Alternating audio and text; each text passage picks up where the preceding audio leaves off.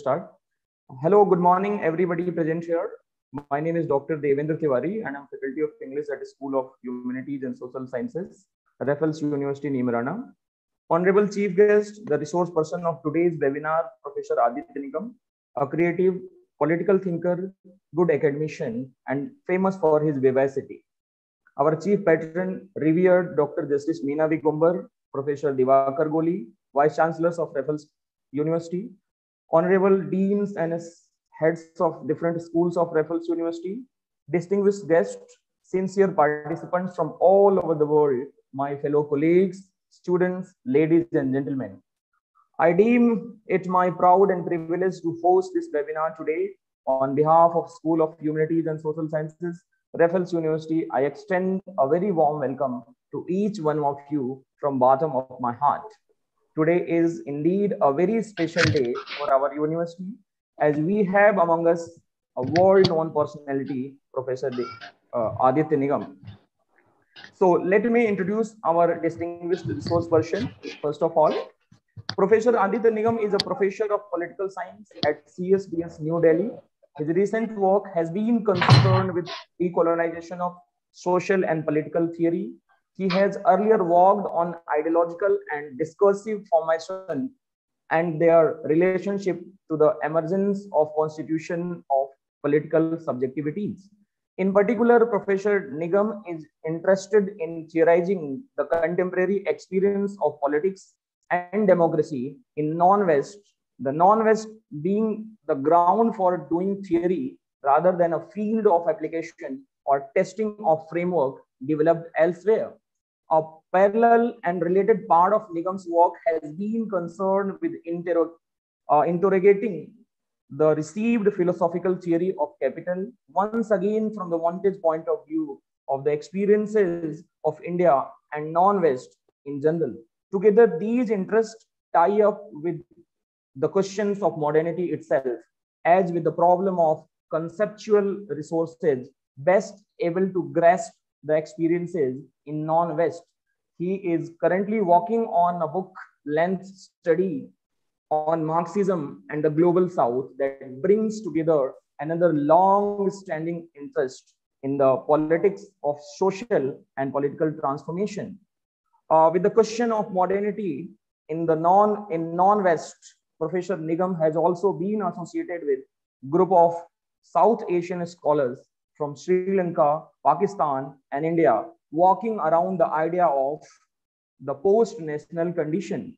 He also works with CSDS Indian language program and its Hindi journal Pratiman. He comments regularly on contemporary political issues on blog kafila.online. He has authored many books. Some of them are Insurrection of Little Selves, The Crisis of Secular Nationalism in India, which got published in the year 2006. Power of Contestation, India since 1989, with Nivedita Menon. It got published in the year 2007. After Utopia, Modernity, Socialism, and the post colony got published in the year 2010. Desire Named Development published in the year 2011 and decolonizing theory thinking across tradition which got published last year only in the year 2020 i would like to let you know some of his selected publications like afro-asian solidarity and capital question looking beyond the last frontier. The work of theory, thinking across tradition, post-colonialism, Marxism, and non-Western thought. So this has been a brief information uh, about our stall resource person of the day. Uh, before I invite our resource person of today's webinar, I would like to invite Mr. Randhir Kumar Gautam, the head department of School of Humanities and Social Sciences, Raffles University, to moderate the session. Mr. Gautam, over to you. Thanks. Thank you. Thank you so much, Devendra. Uh, let me unmute everyone so that disturbances. Okay. Uh, yes. So Uh, thank you so much, Dr. Devendra. Uh, for me personally, uh, this is um, a great honor to welcome our honorable speaker, Uh, Professor Aditya Nigam sir, and moderate uh, this session. Uh, let me uh, try to give a, a, brief context of today's webinar, which is resuming the suspended dialogue between Ambedkar and Marxism. So first of all, on the eve of 130th uh, Ambedkar Jayanti, Jai Bhim and Jai Hind to all of you. Dr. Ambedkar is more visible now than ever before, and his contributions have been recognized and acknowledged not only in India, but all over the world with the rise of subaltern consciousness. Nowadays, Ambedkar name has become highly political business. That is good because it really gives a sense of empowerment, particularly those minorities. I can give one illustration, you know, the recent pronouncement of Maharashtra government that marked the day on which Ambedkar had interned the school in Satara as a student day. Ambedkar birth date now, you know, has become the water day all over the India. And you know, obviously, you know, Ambedkar deserves this much attention because Ambedkar was a creative scholar of caste, democracy, and law. And he has been celebrated as the chairperson of drafting committee of Indian constitution.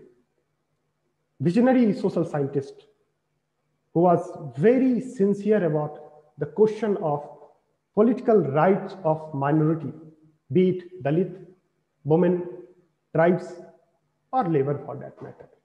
Idea of emancipation of Dalit and emancipation of mankind are always in the bottom of his heart.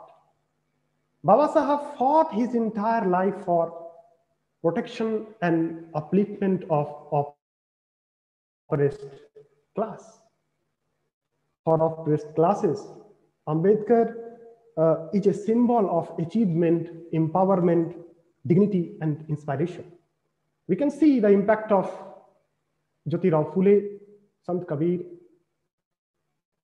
Lord Buddha, and famous philosopher, pragmatist John Dewey on his political ideology. Although, you know, Ambedkar read Karl Marx also. Both Karl Marx and Ambedkar have fundamentally changed the way we see the reality. Both inculcate critical consciousness about, among public conscience.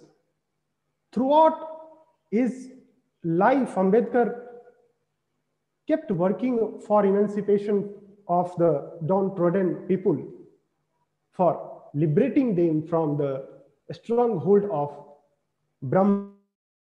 Brahmanism and capitalism. He always fought against the enemies of democracy, that is to say, the idea of violence and dictatorship. Unlike other uh, uh, political leaders of India of that time, Ambedkar advocated a, a, a co-relation uh, between social equality and political independence.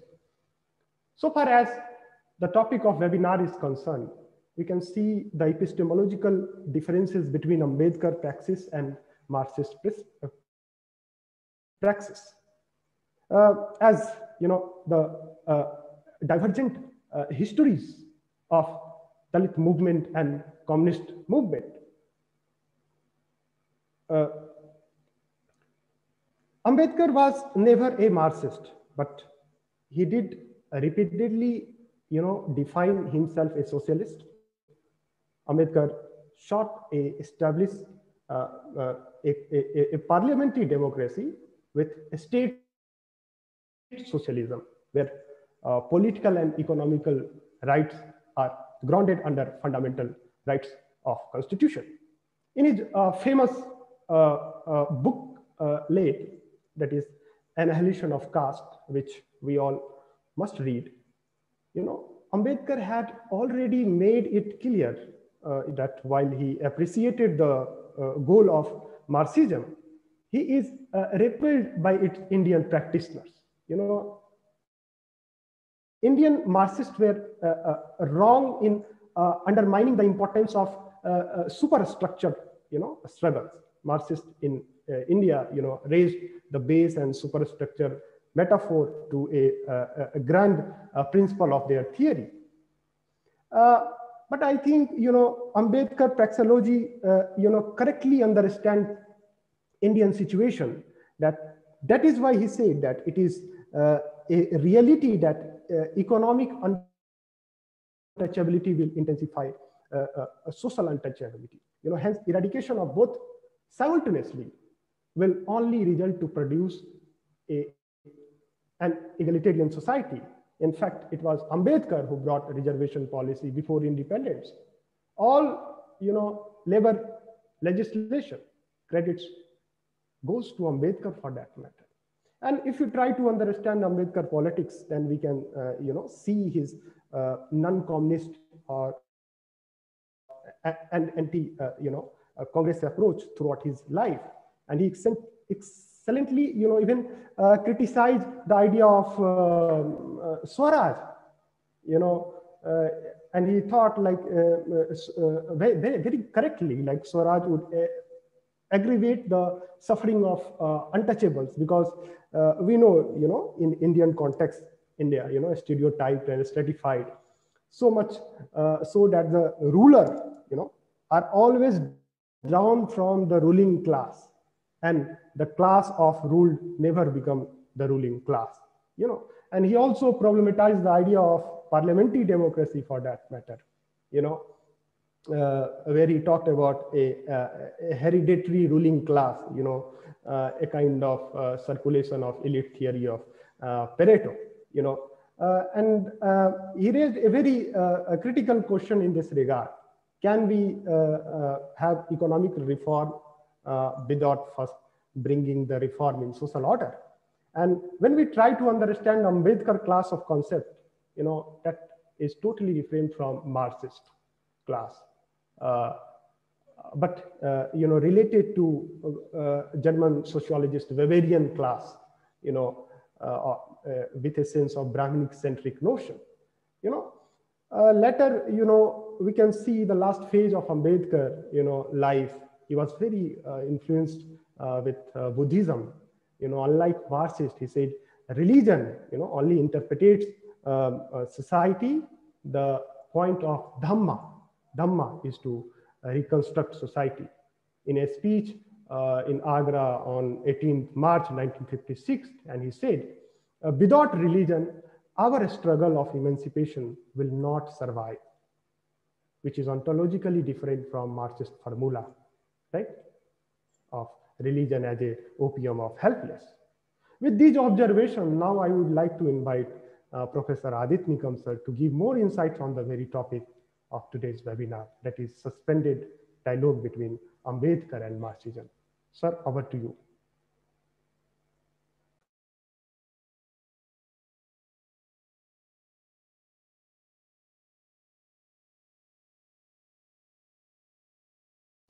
I think uh, there is, just wait a minute. Uh, can you unmute, sir? Please, uh, please unmute your mic.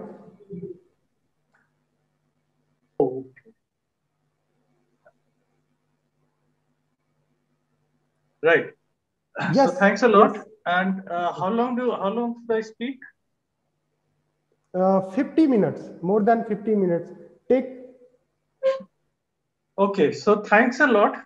Thanks for this great opportunity to uh, talk about uh, one of the key figures and architects of modern India, uh, Dr. Ambedkar, on his birthday, which is uh, really a great uh, opportunity. And, and, I should begin with the with the uh, observation, well-known observation by Ambedkar, which is in fact coming to uh, be realized with ever greater urgency today.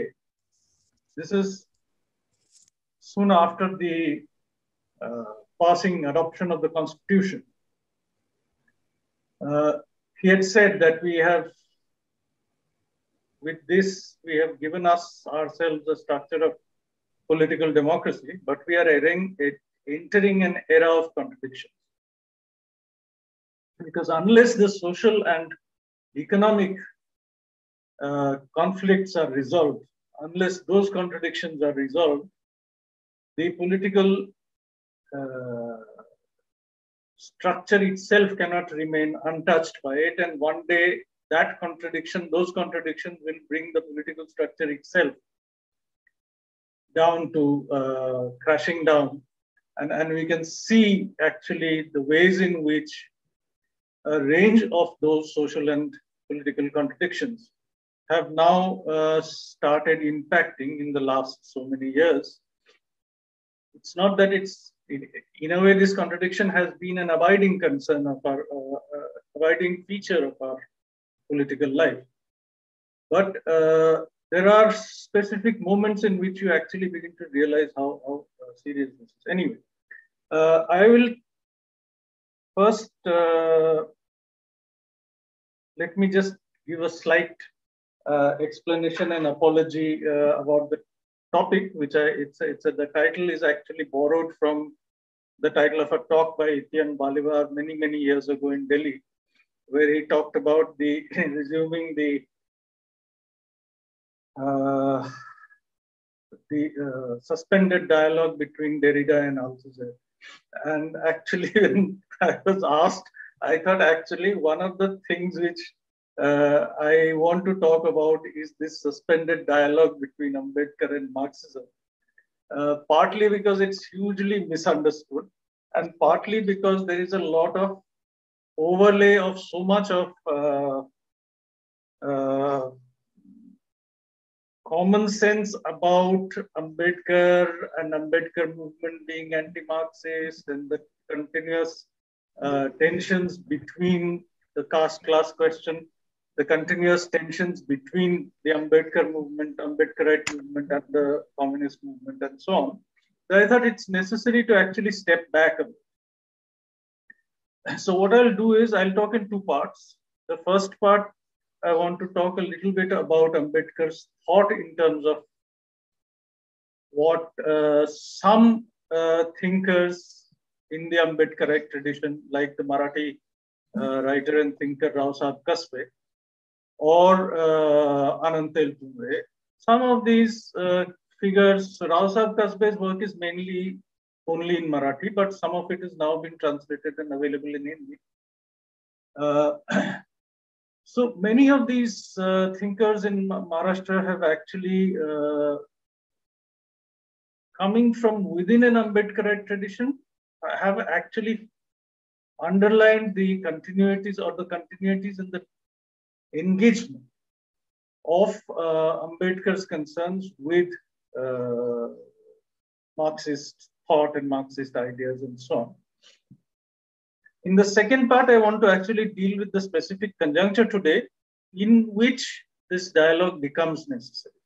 So I don't want to leave the uh, topic discussion only in terms of some abstract ideas, which is at one level neither here or not neither here nor there because those are issues which we uh, some of us may know so uh, i do want to contextualize that a little bit in our times. In a way if you ask me uh, it is a decontextualizing i don't want to read ambedkar only in his own context but i want to bring him into our context and uh, make him tell us some some things about uh, about how uh,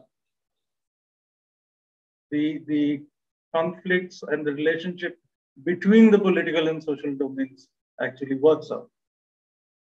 So now in the first part, I just want to uh, take you back to three moments. Rao Sahib Kasbe's position, of course, would be that from the very beginning, from in fact his first doctoral dissertation in Columbia, where he uh, which he wrote on caste at the young age of 24.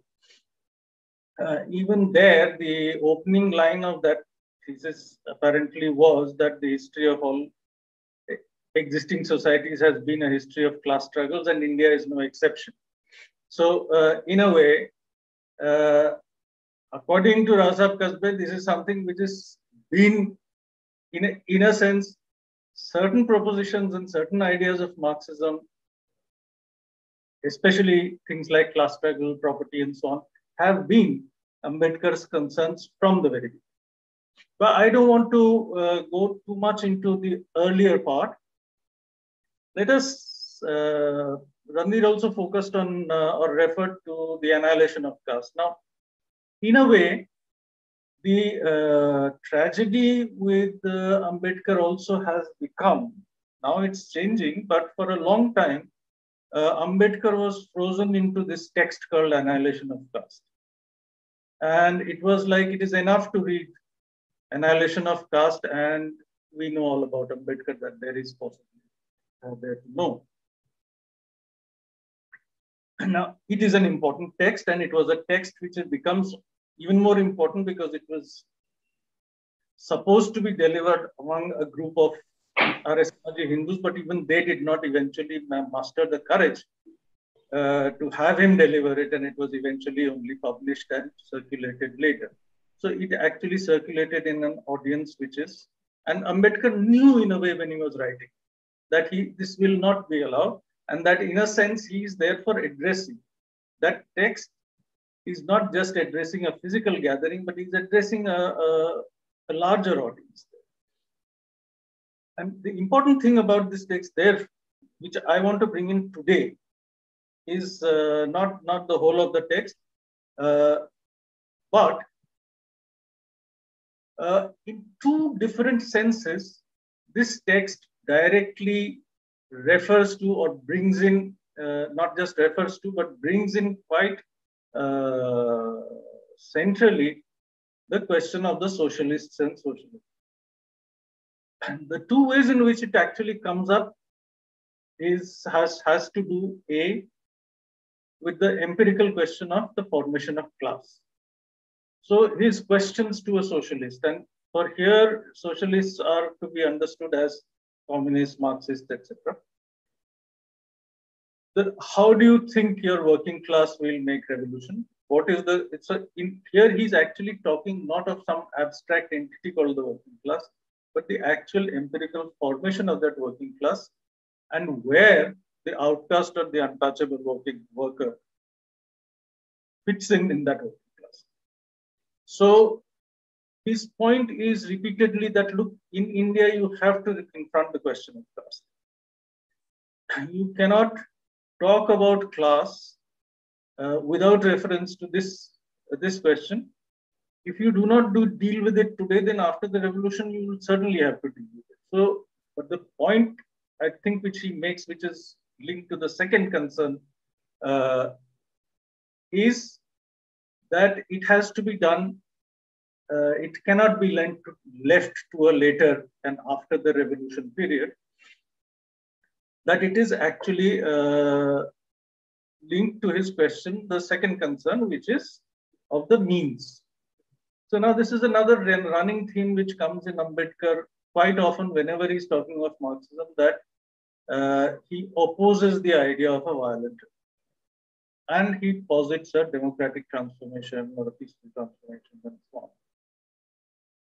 People have drawn links and connections with Fabianism, his connection with Fabian socialism, and so on. I think I don't think that's really productive or interesting beyond the point, because I, I think the choices are also made not because you happen to meet some Fabian, you become a Fabian uh, or you happen to become a Marxist because you meet some Marxist, uh, whatever. There are the, make deliberate choices, definite choices. Why do you choose a, a specific version or a specific argument for socialism rather than another? Has to do with uh, certain things or which are of important concern for yourself. And the question that Ambedkar is repeatedly brings in, in in relation to the question of uh, uh, the means, means and method, is, I think, another way of bringing in a question which has been haunting or which has been dogging the anti-colonial struggle, which is the different distinction between or the difference between uh, the what I have actually referred to as the political. Uh, Ambedkar himself, in his many writings, calls them the politicals.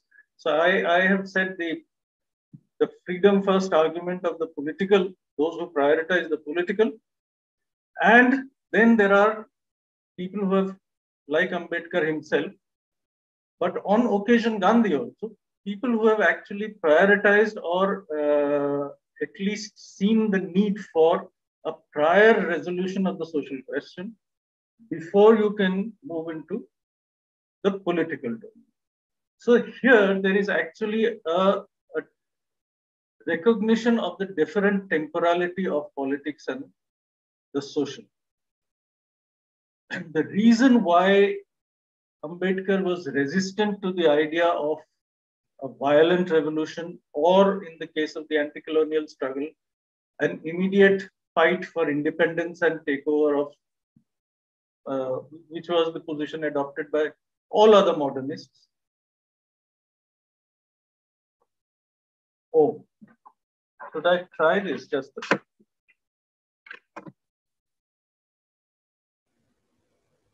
It is okay, sir. Hello, is that better? Yes, yes. Okay, okay. Sorry. So uh,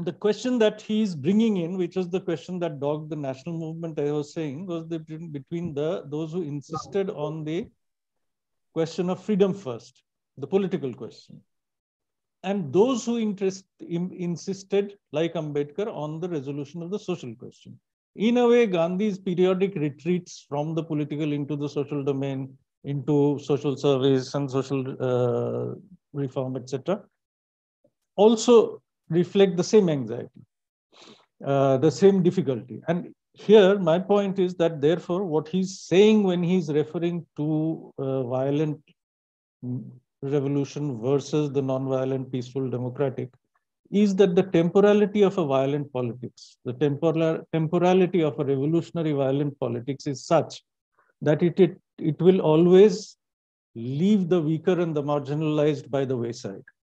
So in a way, it's like the high-speed vehicles moving along a highway where uh, there is no space for the bullock cart or the cycle or uh, the pedestrian and so on. So the, the uh, if you have to actually make a transformation, if you have to try for a transformation which is inclusive and where it is necessary for you, therefore, to first uh, resolve the question of what this working class is and how that working class itself can be configured. So you're not taking the working class as it exists in, in a sense because that existing working class already is divided into into uh, subcastes and subgroups and so on. And that is something which uh, Ambedkar, from his idea of uh, graded inequality as something which is a defining feature of Hinduism, he continuously is aware of that. That this is something which has made it impossible to forge larger unities in the Indian context. And therefore, the first important thing that has to be emphasized is this.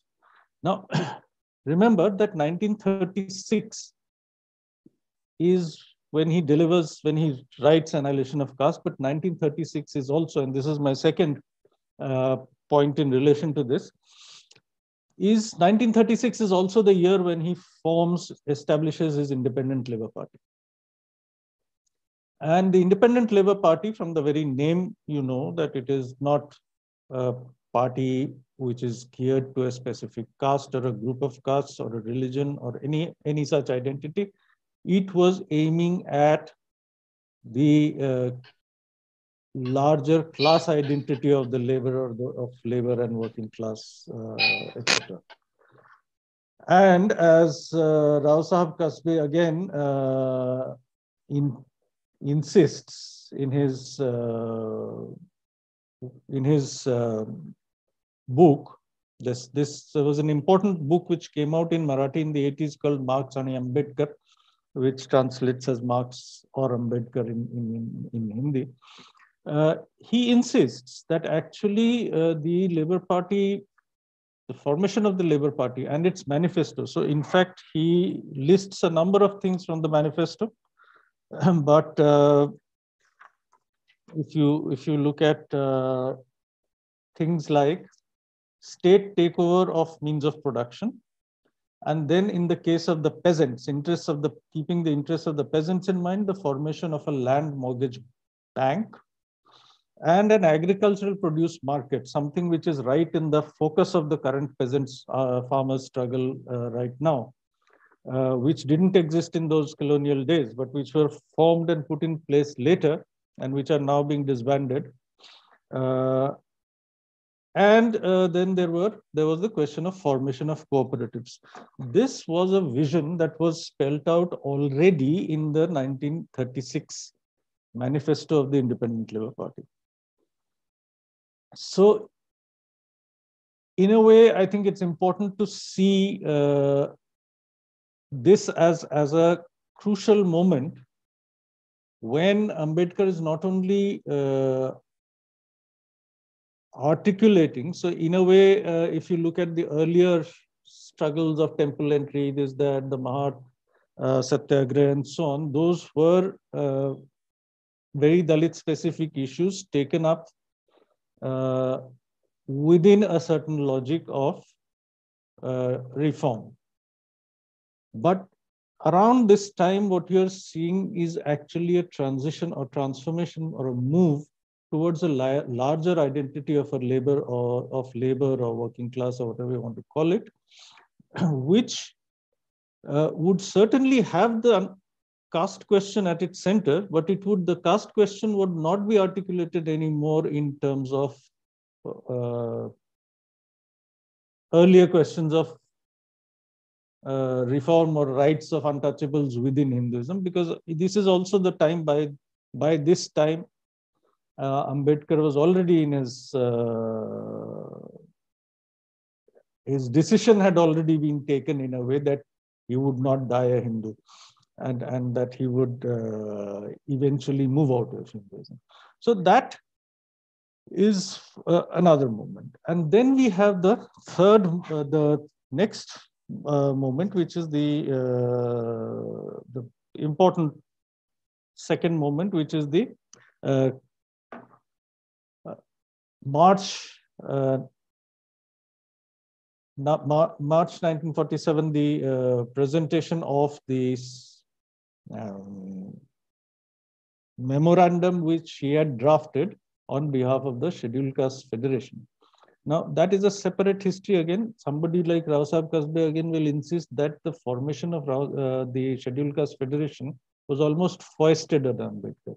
That he would have preferred to do politics which transcended this scheduled caste identity but because there was no way of the way in which uh, the last bits of uh, the, the representation question were being hammered out in the run up to the Constituent Assembly that the uh, Scheduled Caste Federation would have to make. So he was asked, whom do you represent?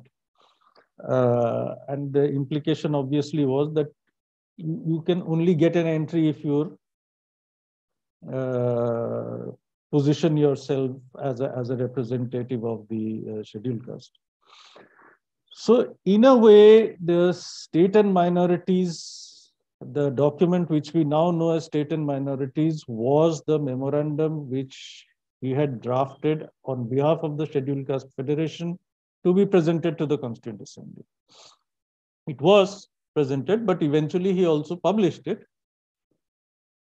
And this is, in fact, uh, even though drafted on behalf of the All India Scheduled Caste Federation, the state and minorities document is the place where the most full-fledged uh, explication of the idea of state socialism state socialism is made by Ambedkar.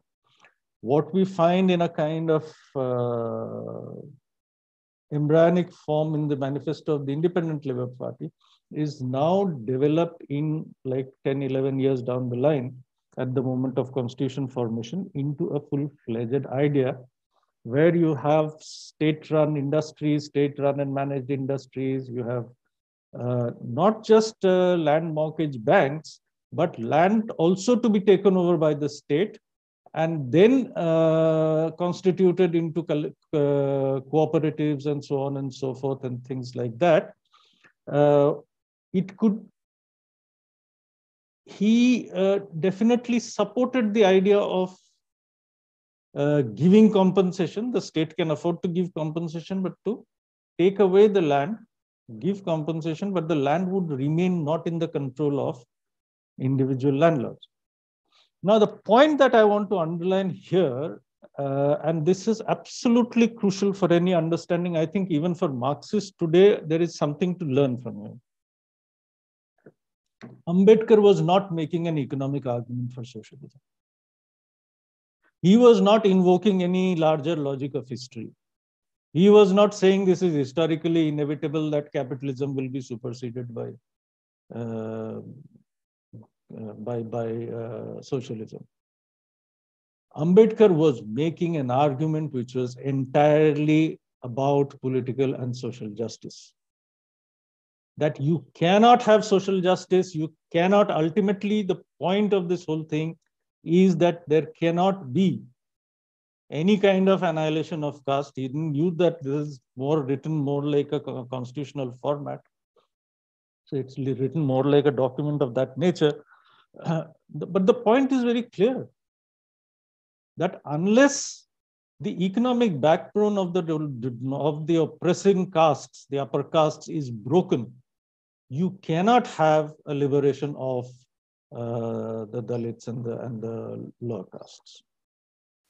So, state socialism was not simply an argument about uh, social or historical inevitability uh, or of economic superiority and so on. I think the question which is to be made centrally today, with a lot of neoliberal jargon thing has happened in the last 20 years about why certain kinds of logics have to conform to market logics, this, that, and so on. I think the point that Ambedkar is making very, very clearly throughout his uh, mm, writings, wherever he's talking about socialism, is that the question of social and political justice is the primary question. How everything else is going to be sorted out is to be sorted out later. You cannot say that because it is does not conform to the market, therefore we cannot have social justice or therefore we cannot have political justice. We cannot have inequality, we cannot have equality because it does not conform to market logic. This is not an argument which, which should be acceptable within Ambedkar's frame at all. So that is why I think it is crucial for us to understand that uh, there is a, a, a uh, this is in a way a normative argument. It's not really an argument about uh, dynamics and logics and so on. but uh, the reason why he's insisting on this kind of an argument is precisely because I think, and that is where I, when I come to the second part of my talk, I want to talk about that, uh, is what it might mean politically. now, the third moment of Ambedkar's engagement is his Kathmandu lecture, just a few months before his conversion, in fact, a month before his conversion to Buddhism, and a little while before he died. That was his penultimate lecture, which is called Buddha or Karl Marx, and which actually also, in a way, uh, goes simultaneously with his other other uh, important text, last almost the last text, which is Buddha and his Dhamma. And I think the crucial question again. Uh, so here he's in fact, somebody like Rao Kasbe is quite, because he's sort of grown within the Ambedkarite tradition because he's kind of internalized and it's an internalized engagement. I think it's, it's very interesting that he uh, is able to see the, the, the conflict within Ambedkar and he's also able to see that some arguments are really not, uh, they don't really uh, add up, right? So for example, he's, uh, Ambedkar is underlining in the Kathmandu lecture and uh, Buddha and his Dhamma, the question of what is common between uh, Marx and Buddha. So Ambedkar kind of tries to see a connection between Buddha's dukkha and Marx's exploitation. And Kasbe is, of course, a little, it doesn't really, uh, is not really the same thing.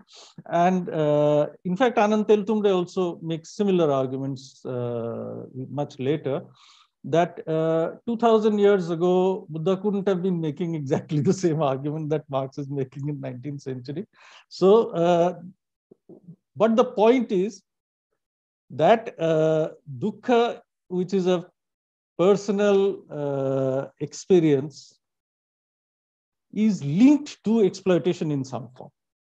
So the larger social structures of exploitation and the individual experience of dukkha which of course in Buddha is not always only individual, but there is a, the, the resolutions are obviously not in that sense, they are about detachment and they, they are about the individual modes of self-transformation and so on. So uh, that, that is one point. The other point on which Ambedkar actually draws a parallel between the two uh, is their rejection of private property. So he says that is the logic of the Buddhist Sangha and the Buddhist monks, that they're not supposed to own any property and so on. But of course, there again, somebody like Kasbe or somebody like Teltumbde would say that yes, that is true. But that is only about how life will be governed within the Sangha.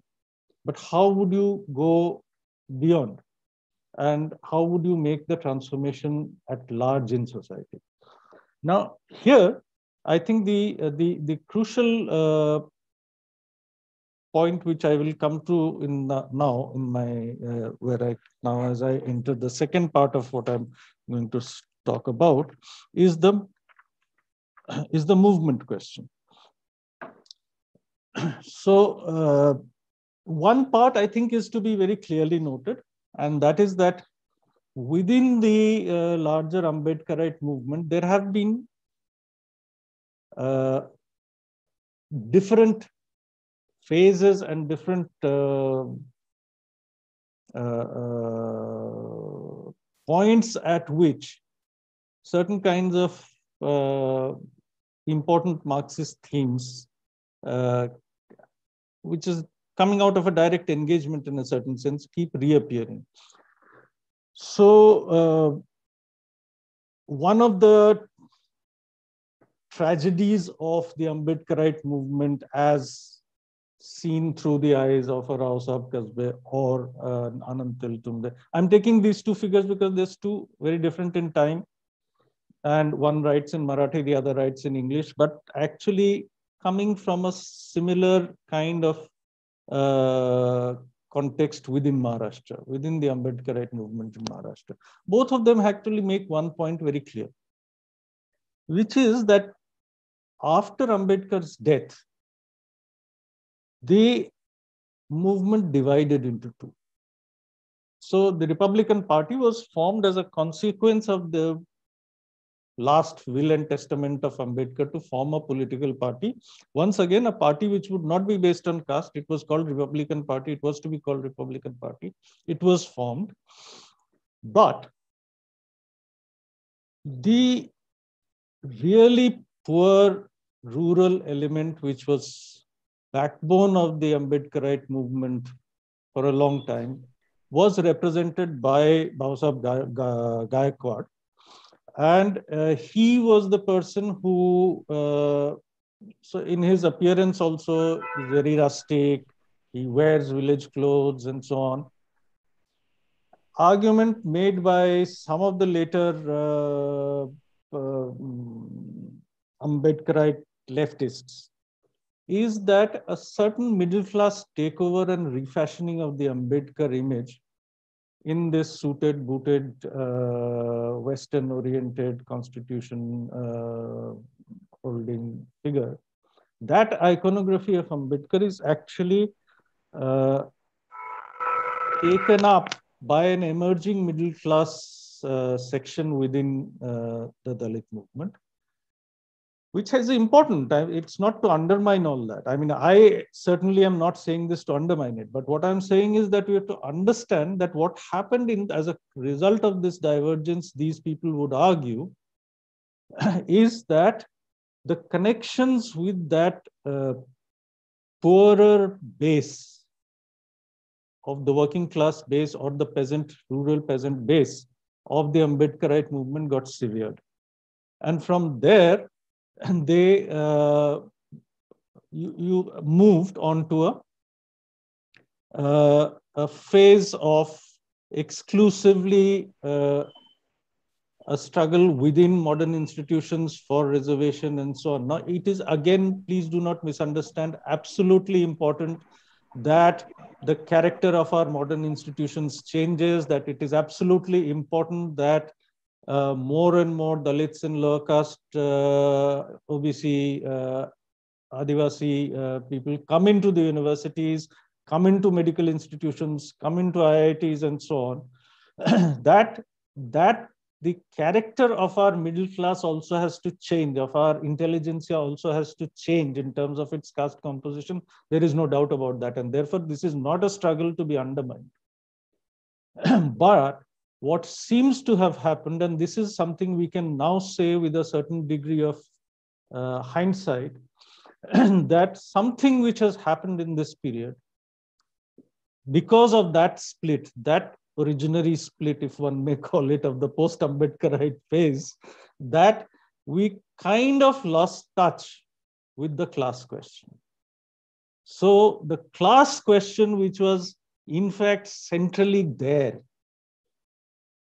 becomes more and more articulated now, including increasingly as caste. And the big conflict arises after the uh, uh, Dalit Panther movement, because the Dalit Panther movement, in fact, appears in a in the 70s in the post-Naxalite movement, China's cultural revolution, this, that, and so on. The whole world is in a ferment. The whole world is in a turmoil. That is when the Dalit Panther movement is emerging. The name Panther comes from the civil rights movement of uh, the United States, the black movement. So there is actually the Dalit movement is drawing so much from all over the world. And the articulation of the idea of the Dalit in the Dalit Panther movement is not the idea of a simply certain castes within Hinduism. The idea of Dalit is an expansive idea, which draws from the black, it draws from, uh, from the working class, the proletariat, this, that, and so on. but very soon an attack is launched uh, from the more middle class sections within the movement to say that this is all Marxist humbug and so on and so forth. And so, I mean, Rao Kasbe is very sharp on this. I won't be able to repeat all that sharpness, but he's, and he can say it because he's in fact, in a way, party to the, into to that whole struggle. But uh, he's able to therefore show us how from almost the beginnings of the Dalit Panther movement, the division became clear between the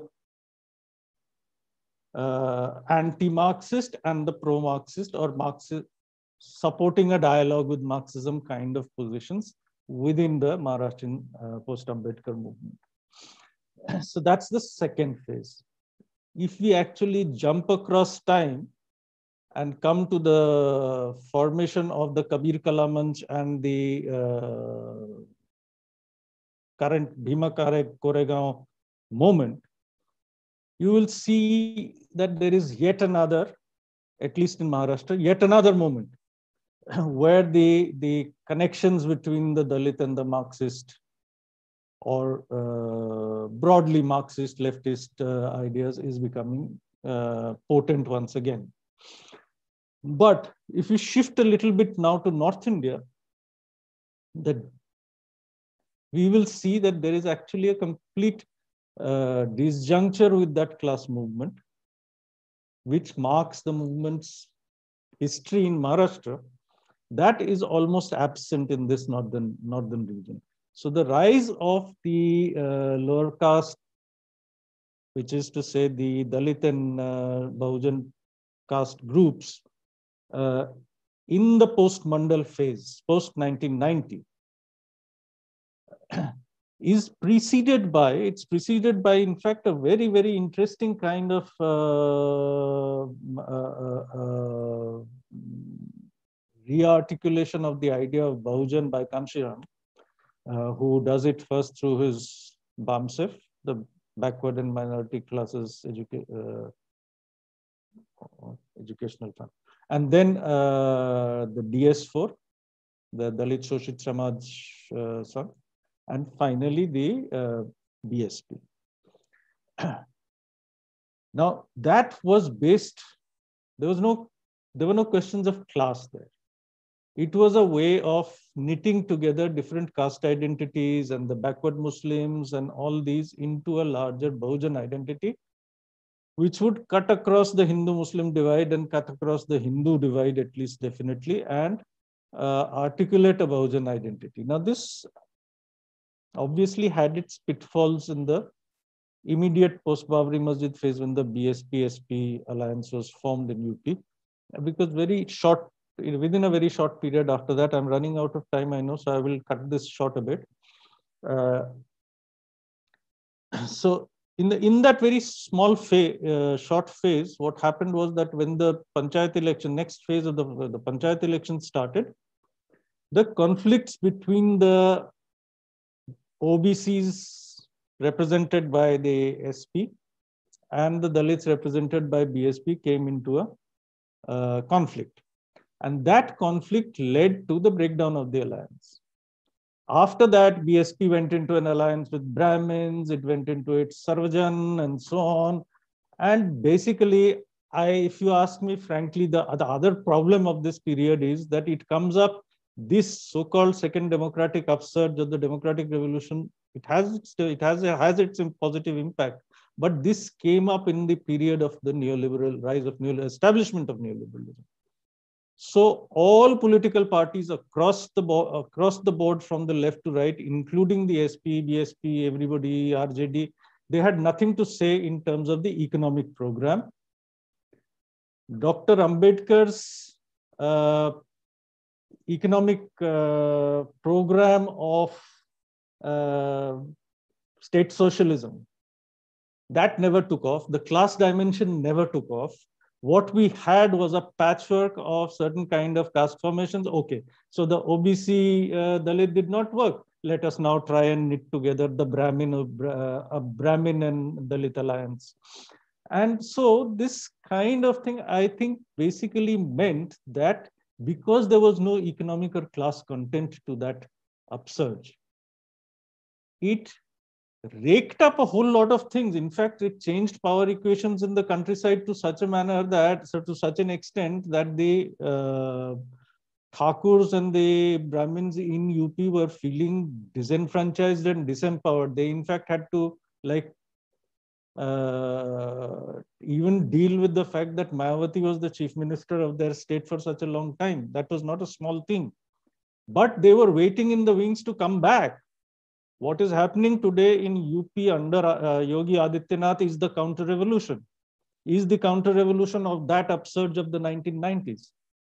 And that counter revolution only shows one more thing again, which is that what Ambedkar argued in the state and state and minorities and in, in, suggested in other on other occasions is that unless the backbone of the dominating upper caste is broken, unless the economic backbone is broken, unless land is taken over. Now, let me make this very clear again. Uh, we might have some time for discussion, we'll come to it, but very quickly, neither land nor any other private property belongs to anybody. Nobody came with property into this world. So nobody can say, I own this. Whatever you have owned, if I may just paraphrase Proudhon, was theft. that all property is theft is something from Buddha to Buddha to Proudhon to Marx is what you will get. So now the point is, how does so for Marx, the poetic justice would happen in the future when the expropriators would be expropriated. All those who have been dispossessed will uh, be re reinstated into this world. That is the Jesus's, uh, the meek shall inher inherit the earth. Everybody says that, but how will that be? I think what Ambedkar was suggesting might be perhaps one way, uh, since we do not have um, the the and and we also see what the problems with a with a revolutionary imagination and this kind of a context can be. So what might therefore be important here is uh, to say that the state in any case is the ultimate owner of all the land in the sense that it is the people who are the owner. This it is uh, like uh, earlier earlier princes were given privy purses for a certain time to kind of uh, compensate for their uh, loss of land but the argument has to be brought back in. The argument has to be nobody owns property. There is no property that is your own which is your own for all eternity. Today the world is facing the kind of climate crisis precisely because of because this logic of private property and privatizing nature and privatizing uh, and opening to corporate profits forests from everything from forest to the earth everything is uh, left in such a way that we are now brought to the brink of a disaster we need an argument once again of the kind which will prioritize the question of justice and equality over questions of economic logic and so on and so forth. Everything else is secondary that has to be, that has to come later. And I think the liberation that, I will, and I'll end with this, that in this sense, in the Ambedkarite vision, the reason for his continuously tortured and tortuous engagement with Marxism is precisely because at some level he recognizes that the liberation of the Dalit castes, the poorest among them, is a class question. It is not simply a caste question. And that class question has to be resolved. It is not a caste caste versus class. It is not an either or question. It is a question of blending and understanding how the two can be taken together how the liberation of the poorest Dalit castes can be ensured only by an expropriation of the landed gentry. So I will end here. And uh, if we have any. Yes, thank you. Thank you so much, sir. Uh, very thought provoking lecture. And you really explored the untouched dimension of Ambedkar, Ambedkarite movement.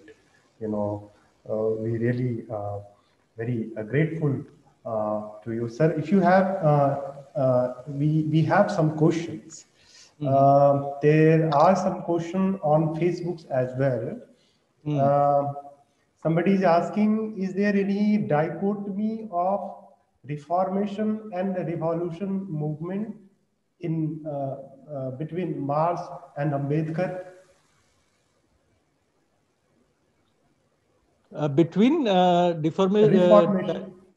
It is about differentiation of dichotomy between reformation yes there see there is. There is and i think that is ambedkar's discomfort with the, the marxist vision but i think it should not be put to marx alone because marx was also articulating all these in the context of certain revolutionary upheavals in 19th century europe but mm-hmm. uh, as it happened, like in the like in late 19th century, Engels was already talking of peaceful transition, peaceful mm-hmm. transformation, mm-hmm. and so on.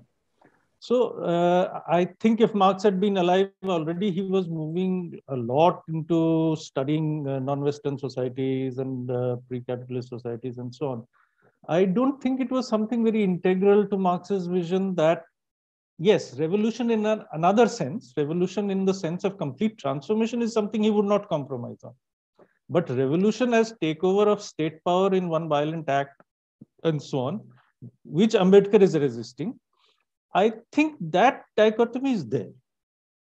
Uh, but it is a dichotomy, I would say, of two different contexts, two different times. And there is some need to think of how uh, they can be overcome in, in Yes.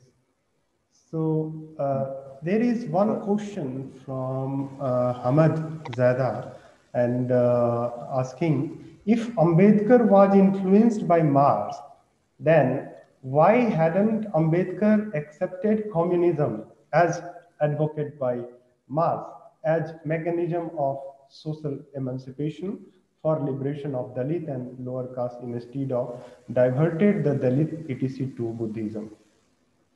Yeah, no, I, I, I think Ambedkar was a critical thinker, first of mm -hmm. all. And no critical thinker just takes whatever is given to you lock, stock, and barrel.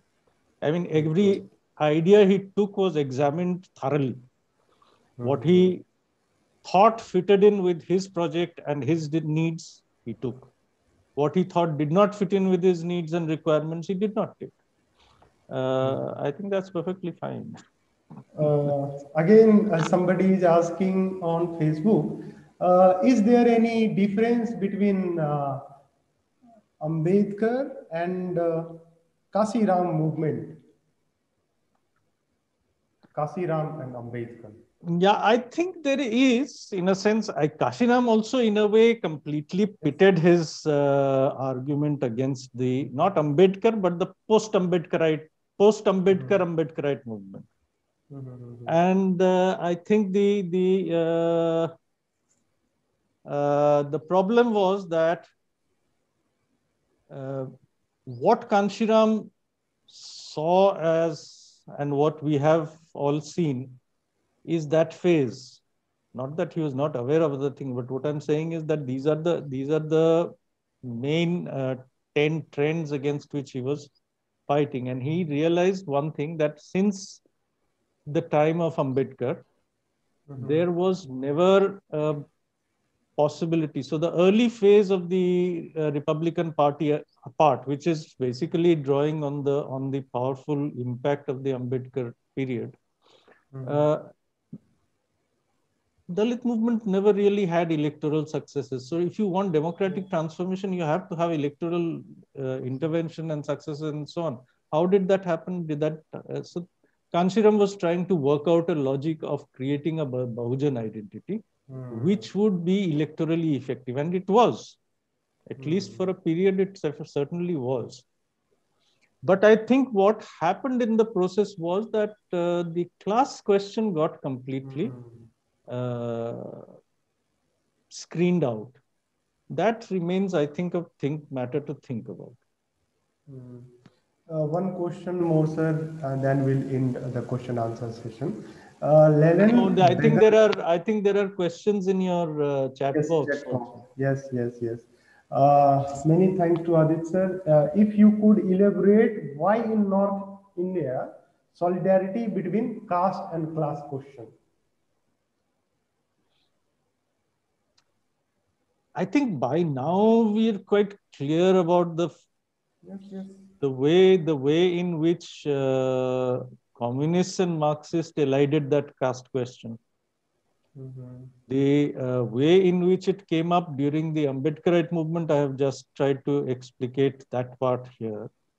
But uh, within the within the communist movement, there was a kind of blindness to caste. There was an mm-hmm. understanding that all these are pre-modern ideas. I think uh, this came up earlier also that uh, the caste is a matter of superstructure and superstructure would change once base changes once we actually the real transformation has to be class transformation.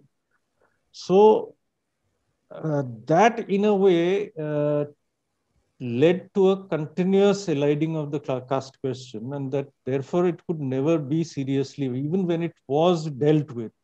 Like one of the earliest some of the earliest uh, struggles under communist leadership in the 1920s, late 20s, I know, uh, were of the Safai Karamcharis, mainly Dalit workers, and not I'll tell you the uh, municipality, the Calcutta municipality, big struggles under Muzaffar Ahmad's leadership.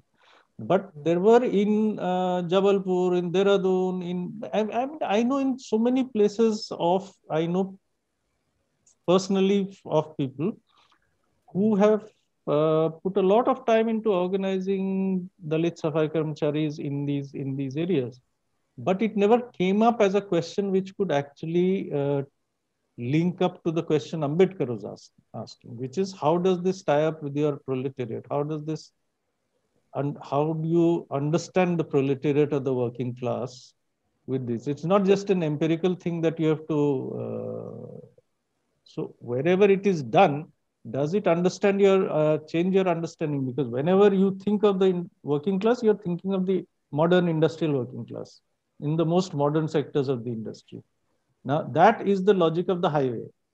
That in the highway, you only look at the most fast moving vehicle. You're actually not interested in looking at the cycles and cycle rickshaws and so on and so forth. So, that is a question which I think today at least we need to think about now.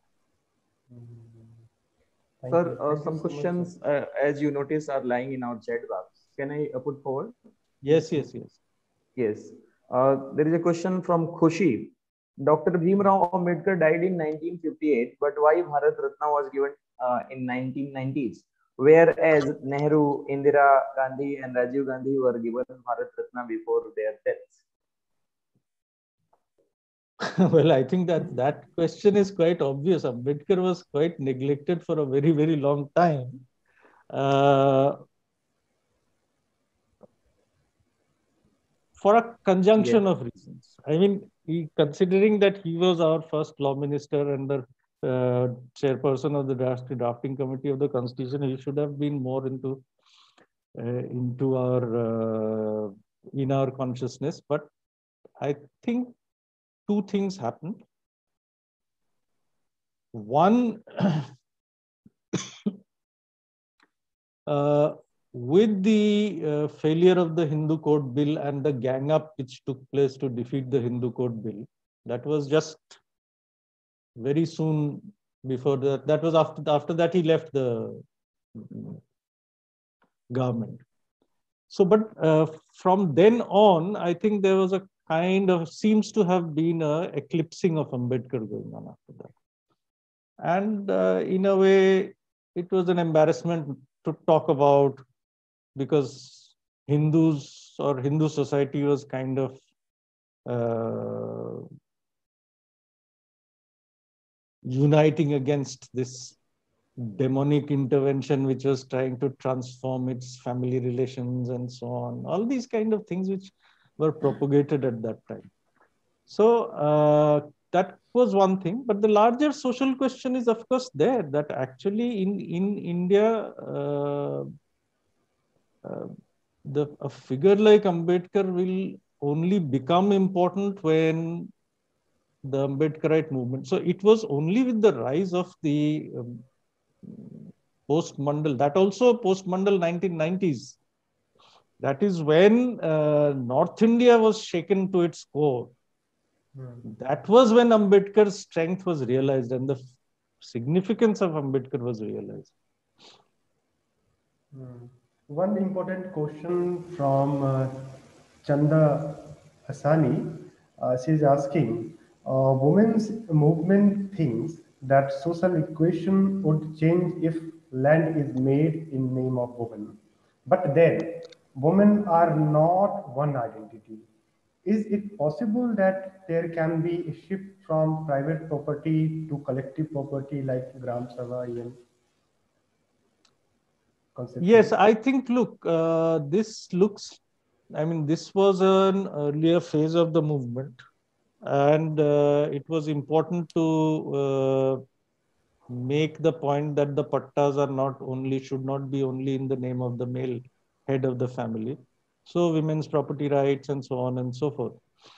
Uh, and in a way, women's economic independence within the family also uh, would come only when they had certain kind of access to productive resources and things like that.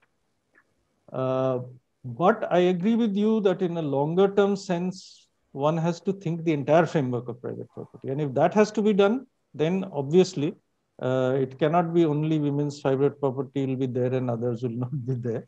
Obviously, something uh, will either emerge from uh, longer term practice politically and our collectively putting our minds together and thinking. I think Sanil had a question which I missed somewhere.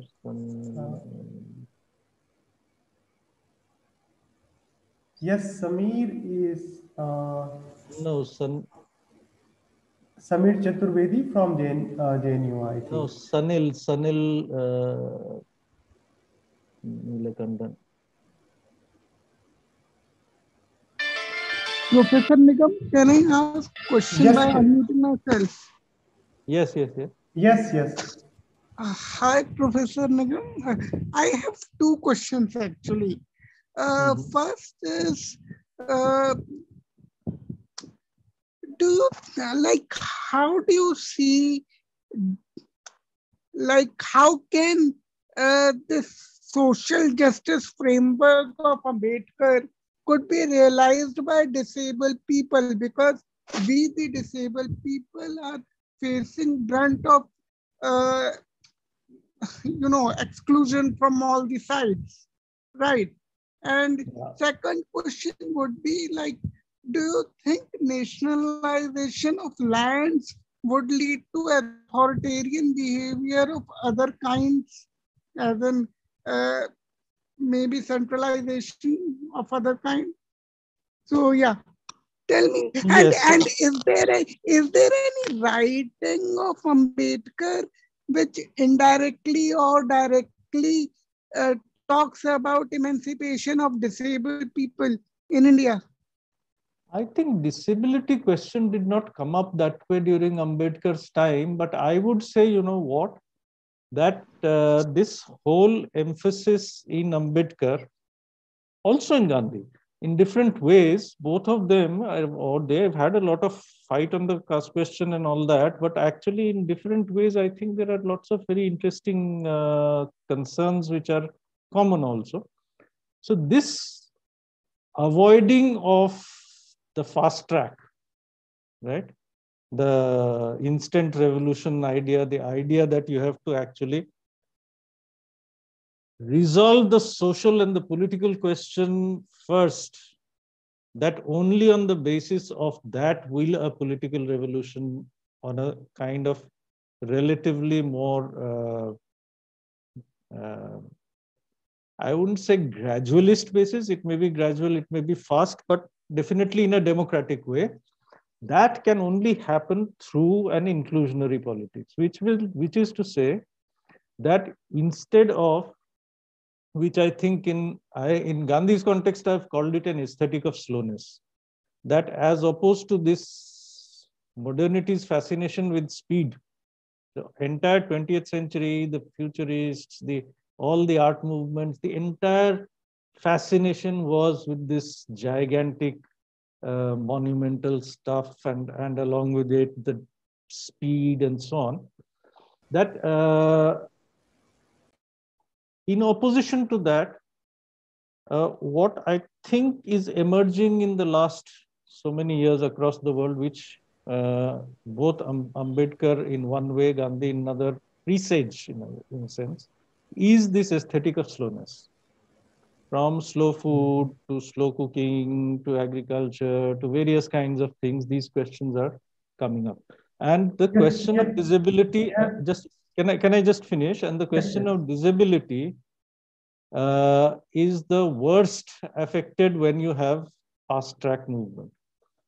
So because that requires an ethic of care that requires an aesthetic of slowness. Without that the disability movement will uh, the, this people with disability will always suffer. Uh, nationalization, I just want to say one thing. Is you is there any less authoritarianism today without nationalization? Corporate sectors want change, so uh, laws are bulldozed through parliament.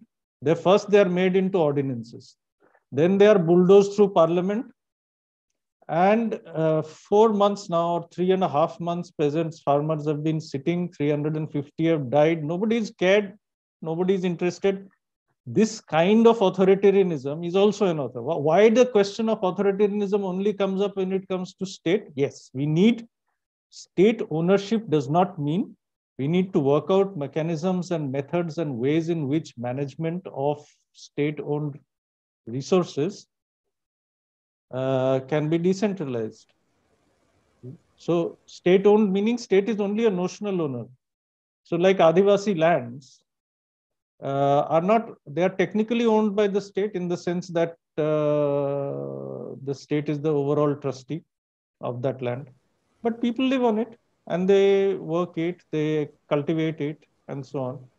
So I think a different understanding of state ownership is required, uh, which is not, we shouldn't immediately start thinking of uh, Stalinist Russia or so on like that. Mm, so, uh, sir, we have a question from Sunil M. Nilkanandan, and he's uh, he is asking, please share your take on politics of representation in the context of Dalit politics. Does it uh, possess the potential to address the question of uh, a question of marginalized in uh, neoliberal era. Uh, marginalized in sorry, huh, that's neoliberal era. yes, yes. Look, I, okay, let me say this. This is actually a slightly tricky question because I my first answer is yes, right? But now the complication comes where I have actually at one time supported an argument for Dalit capitalism, which was made by my friend Chandrabhan Prasad.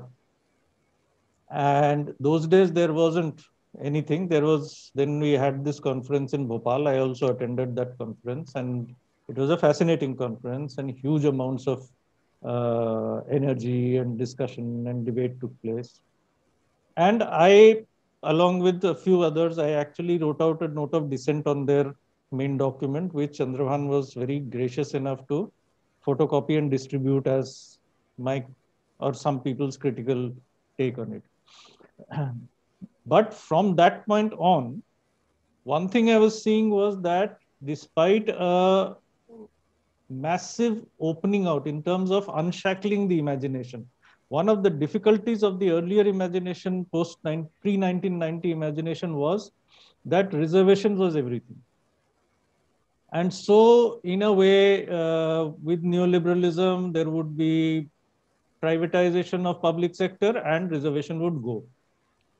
So, what do you do? Fight against neoliberalization. Now, what the initial argument of Chandrabhan Prasad and other people like him was doing was to open out the imagination and say, look, Dalits are not meant only to do jobs in somebody else's company. We can also start our own businesses. We can also start our own uh, uh enterprises and so on. And that was, I think, an important, immensely liberationary, liber liberatory move. So I supported that and I still think that it was very important. Now there is a separate Dalit Chamber of Commerce and Industry and so on and things. And a lot of the new Dalit entrepreneurs uh, may be as much into neoliberalism as uh, any other entrepreneur would be. But still, I think the uh, fact remains that uh, as a in terms of a larger uh, community understanding. Dalits as a community, Dalit, Dalits as a larger social group, uh, do not benefit by and do not benefit by neoliberalism. They are going to be and have been its big losers also in many ways, whatever Devesh Kapur and Chandrabhan may have tried to say on that at, a, at one moment in history. But in the longer term, I think it is the uh, politics of representation in that sense is important because genuinely Dalit voices coming in will also change the character of that discourse if I, I think, but a lot of it depends on a reappraisal of Ambedkar, which is already going on. I mean, I don't need to say this, but uh, it is already going on. And I think that reappraisal of Ambedkar, this, you know, in Anand Patwardhan's film Jai Bhim Comrade, the towards the end, there is this sequence of uh, Shital Sathe singing to Dr. Baba Sahib Ambedkar, basically saying, come out of that statue. You have been imprisoned in that statue. You come out onto the streets. We need you here. And this is, I think, not just Shital Sathe. I think this is happening in, in, I can see it happening in sections of the Dalit movement. Jignesh Mevani, fighting struggle for land in uh, Gujarat for now so many years.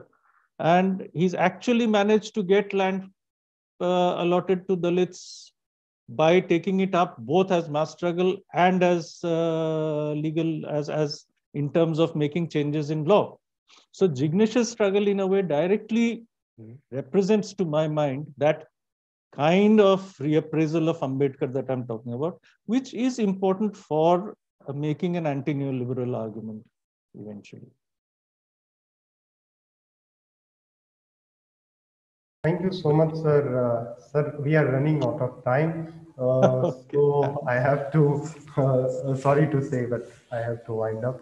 So now I am, uh, now I would like to invite Dr. Devendra, sir, to give a vote of thanks. Uh, thank you very much, uh, our uh, revered speaker of the day. And particularly, I would like to say this to our participants, those questions which has been answered because of paucity of time, we'll send it to sir and definitely we have your email ID, you will be informed. So thank you once again, uh, sir, for such an enlightening uh, talk and uh, answering all almost all the queries which we could raise. So uh, I would like to say good afternoon, everybody present here once again. Uh, it's my honor and privilege to extend a vote of thanks on this August moment. And at the same time, I would like to thank Mr. Randhir Gautam, uh, the convener of this webinar for giving me this opportunity. On behalf of School of Humanities, Raffles University, Neemrana, Rajasthan, India, I would like to uh, say thanks to our chief guest and resource person of today's webinar, uh, Professor Anand Nigam sir, who graced us with his benign presence and guidance. Sir, you shared your experience with us on this topic, on the topic resuming uh, the suspended dialogues between Ambedkar and Marxism. And your deliberation was very relevant, easy to understand, and precious to us and definitely we shall inculcate the ideas pondered by you throughout the discussion. Thank you, sir, once again. Uh, we are Thank grateful to our, sir, uh, sure, thank you. Uh, welcome, sir. Uh, we are grateful to our chief patron, Justice Meena V. Gomber ma'am, uh, the esteemed chairperson of uh, Raffles University for being the source of inspiration and motivation for organization of, of such kind of activities. I must say thanks to uh, Professor Divakar Goli, uh, Honorable Vice Chancellor of uh, Raffles University. I extend my vote of thanks to our active participants, guests, audience, students, and everybody who contributed in making this program materialize. I'll be failing in my duty if I do not convey my sense of gratitude to our respected deans and heads and my fellow colleagues at Raffles University, my dear students, I would like to thank the technical team and uh, non-teaching staff of our university for their contribution uh, for materializing this webinar. Last but not the least, I would like to thank the convener of uh, this webinar once again for initiation and execution of such a wonderful program.